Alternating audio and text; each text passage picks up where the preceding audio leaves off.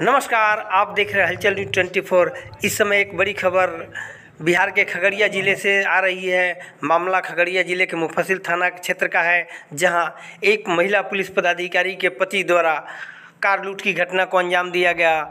इस दौरान जीपीएस के आधार पर कार मालिक, जो कि कानपुर का रहने वाला है, उसके द्वारा खगड़िया मुफसिल थाने को इस बात की सूचना दी गई और उस सूचना के आधार पर मुफसिल थानाध्यक्ष के द्वारा जब गिरफ्तारी की गई तो पता चला कि एक कार लुटेरा महिला पुलिस पदाधिकारी का पति है। इस दौरान पुलिस ने दोनों को दबोच लिया है।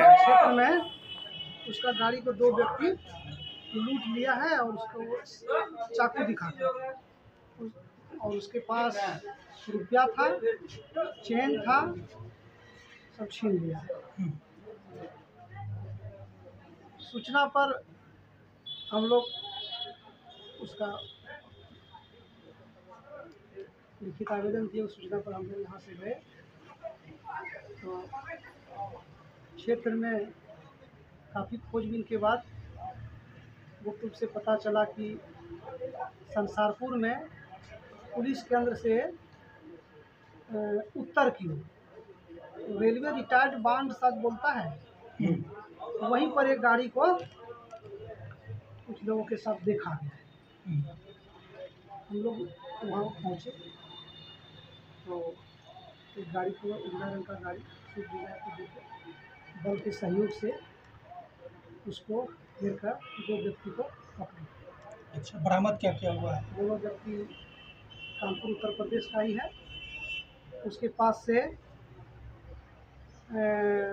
चोरी गई लूटी गई गाड़ी स्विफ्ट डिज़ायर और उसका नेम प्लेट आगे पीछे का टुकड़ा में करके बरामद हुआ।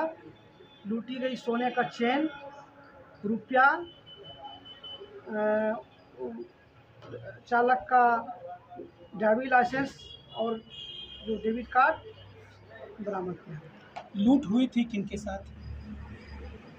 सूचक मनोज गुप्ता